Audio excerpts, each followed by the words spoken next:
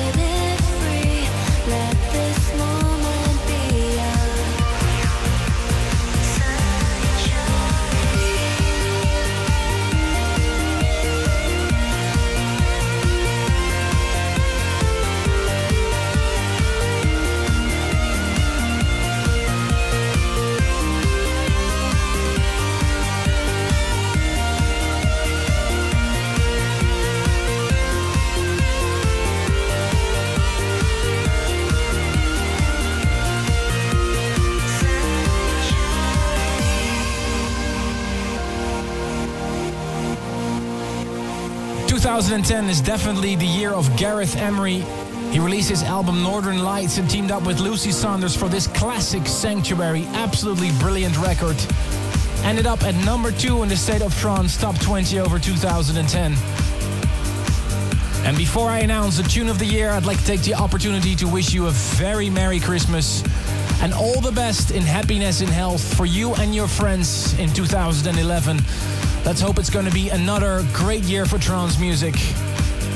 And a big thank you to the worldwide trance family.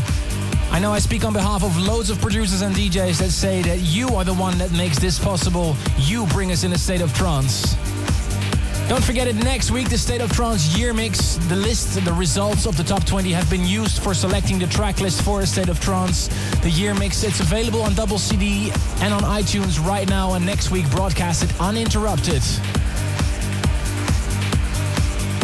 And here it is, ladies and gentlemen, the tune of the year of 2010. I'd like to congratulate this talent, and I hope we can hear many, many more tracks from him. Hurricane Right Back is the tune of the year 2010. Ladies and gentlemen, may I present to you the biggest track of the past 12 months, as selected by the listeners to a state of trance. This is the tune of the year.